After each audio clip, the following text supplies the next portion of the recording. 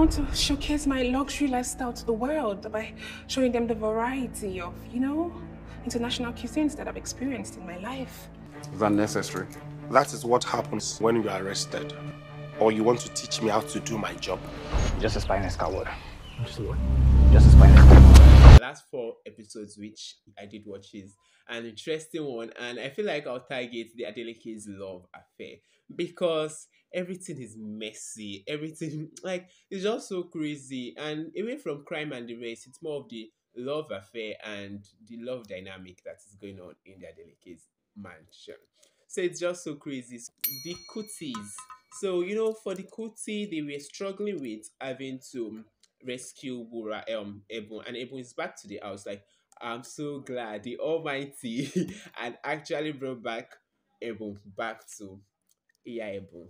So it's um actually an interesting one that Ebun is back and now the fear now is will Mide actually go down for his crimes and everything he had done and his impact like or the role he played in getting Ebo into this trouble she found herself. It's just so crazy.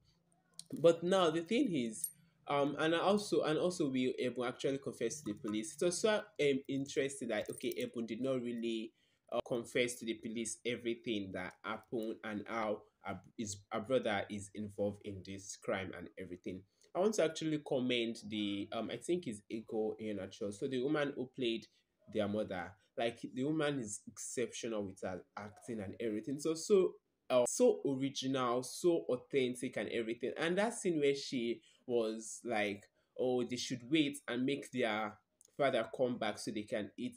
That scene actually got me, like my emotions and everything. I was like, oh, what's wrong with this woman? Is this man going mad? We should be mad. Like I just felt, I felt it. Like the acting was just so good. You could feel what she's feeling like, what would have triggered her to be in that situation. The woman is exceptional with her acting. Like that, like she has been doing well. Like she has been acting so well so far. But that part just really give it a whole life. Like you just know that this woman, she's not a joke with this uh, career.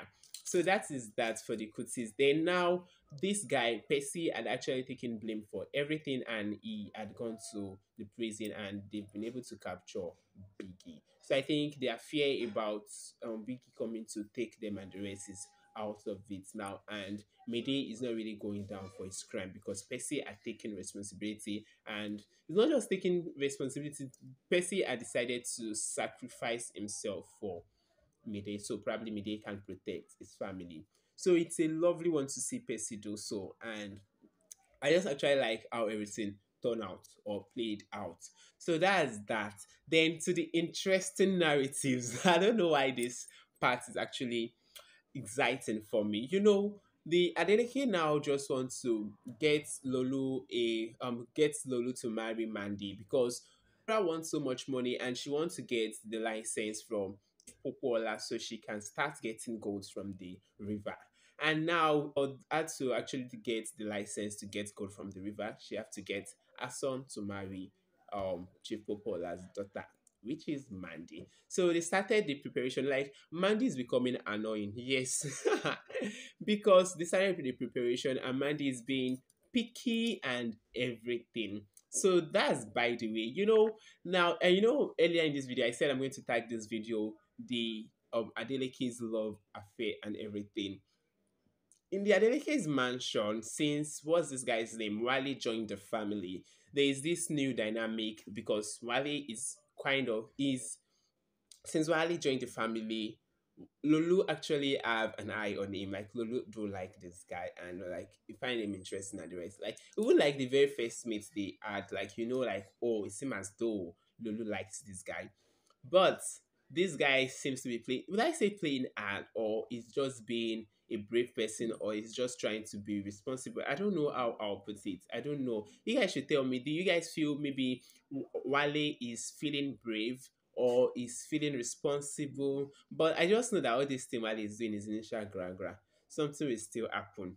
Yeah, so Wale came in and you know Eve is having this like likeness for him and this crush and everything. She wants to be part of the the train. That's like the bridesmaid and she wants Wale to be there so they pair them together and they will have like good chemistry and all of that. You know, it's just so bad how Wale just drummed the ball and he disclosed his identity. Like, you know, if you've seen Wura, you understand what I'm saying. Am I even being this thing? He disclosed his identity as a queer man, you know, and that actually just threw everybody off balance. Like, they were like, ooh, this is the tea.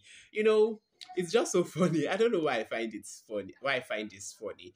And before that, Lulu and Wale actually had this moment where they almost kissed and Wale stopped him and was like, no, he won't be doing that because Lulu is getting married to his cousin, which he feels like is more or less like his sister. So why will he be having such affair with him and the rest? And Lulu is not ready to have this conversation with Wale. So they were having this back and forth. So I want to talk about a lot, and I don't even know. I'm supposed to just outline everything I want to talk for this video, but I'm just going to do it like this, so it's not be so too much. So what else we talk now? So let me talk about Wale coming out to the family. You know, Wura is being picky or let's say nosy. Let's say Wura is trying to be nice by asking Wale if when will he be getting married. Asking when will he be getting married now actually make Wale just tell everybody in the, like everyone in the family like no I won't be getting married because of my life because of my sexuality and the rest and everything and you know being a Nigerian and the rest.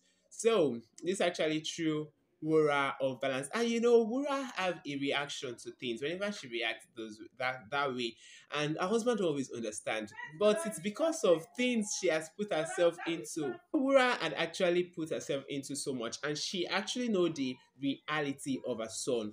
And when they coming out to say, This is who I am, actually just the fear and the reaction is not because of she's just she's homophobic or the rest, but for the fact that she's scared like ooh, this guy might end up being this guy and Lulu might end up having some kind of chemistry or relationship under their nose and the rest, and why she just wants to marry him off to Mandy and the rest. So she feels so threatened and she was so scared about everything.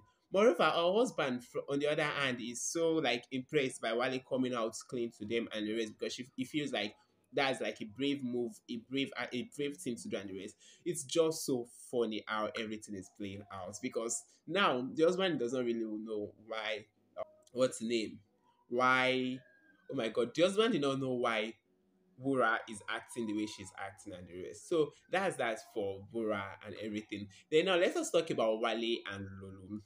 Wale and Lulu are having presently having this alt code. I don't know. I just feel it's just initial gra gra because and it's one thing that actually happens with a lot of people because you know when people are actually struggling with their sexuality or probably like for Lulu now he's not he, he doesn't want to come out like he just is fine with being in the closet then for someone like Wale who is fine with being with having his life the way it is and not having to lie about everything with his life now he feels like probably everybody will be like him. Moreover, everybody cannot be like you. So I feel for Wale, Wale is not supposed to think or he's not supposed to be pushing Lolo into accepting who he is. I feel like everybody I feel it would be nice if Lolu it would have been better if Wale had not been so pushing with everything. Just let this guy be. You guys had the moment where you guys almost kiss, or probably you guys even kiss self.